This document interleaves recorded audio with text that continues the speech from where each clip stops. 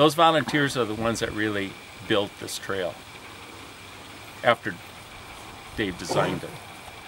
So I guess with that, I'd like to just formally dedicate this plaque honoring his contributions. Using his phenomenal mapping and orientation skills, he designed and laid out the Birkie Classic, Birkie Ridge, Mukwonago, and Rock Lake trails. He volunteered hundreds of hours flagging and reflagging trail routes through the woods to get it right.